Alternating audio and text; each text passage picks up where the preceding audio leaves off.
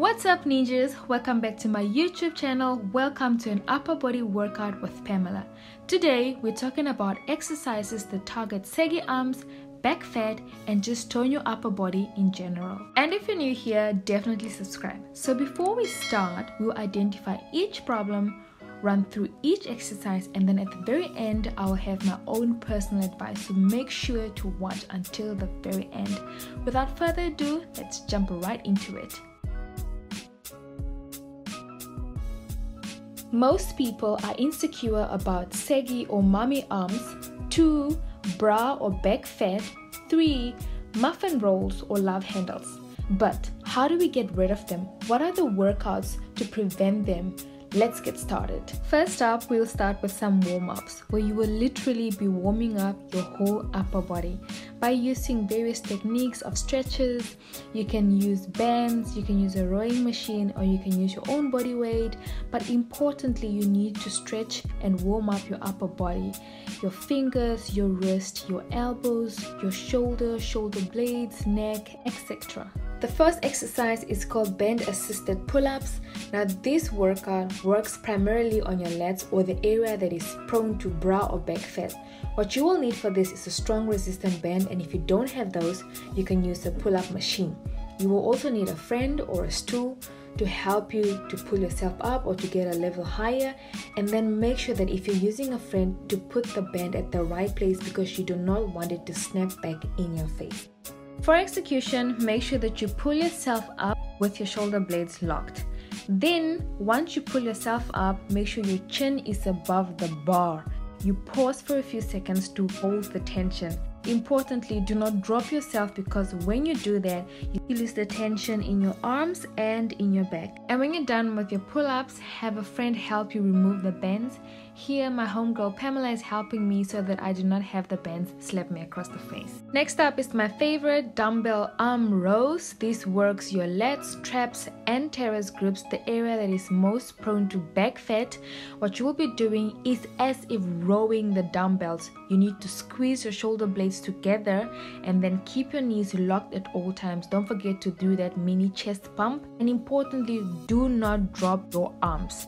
To switch it up, you can do singular arm rows. You can either start with the left hand side or the right hand side, but remember the technique is still the same. The fourth exercise that is great for saggy or mummy arms and also great for your shoulders is seated shoulder press. Firstly, pick up your dumbbells from the floor and put them on your legs. Secondly, push the dumbbells over your head and make sure that the dumbbells are touching each other. When you're coming down, make sure that your arms are parallel to the floor or are at the 90 degrees. Keep your core tight and importantly, control your weight. To switch it up, you can do a single arm shoulder press. You can start either with the right hand side or with the the technique is still the same. Another exercise that is great for saggy or mummy arms is tricep kicks. This exercise works primarily on the long head of the triceps and it's great especially for the area that gains more fat or for the area that is to sag more on the arms. To execute, you grab a dumbbell or a gym plate, make sure that your elbow is tucked in towards your body, then form a 90 degrees between your arm and your forearm and then from there all you need to do is extend your forearm backwards, keeping your elbows locked at all times. Another exercise that you should try are overhead tricep extensions. These prevent and tone saggy arms. So how you perform them is that you grab a dumbbell with an open arm, place the dumbbell behind your head, keep your elbows locked, and then lower the dumbbell behind your head forming a 90 degree angle. The last exercise for triceps are the dips. My testimonial is that I used to have saggy arms but with the previous exercises I showed you guys, I saw a major improvement. If you're a beginner, you can use your own body, but if you're an advanced dipper, you can use a plate or a dumbbell. Then with that said, keep your thighs parallel to the floor, forming a 90 degrees. Dip your body and then keep your elbows locked. Also remember to form a 90 degrees angle between your forearm and your elbow when you are dipping. The last exercise that is primarily just for toning some dumbbells. So what you want to do, grab some dumbbells, tucking your elbows towards your body. Then curl your forearms towards your chest. And when you are lowering your forearm, make sure that you form a 90 degrees between your forearm and arm or that your forearm is parallel to the floor. For definition, we're gonna add a little bit of a twist.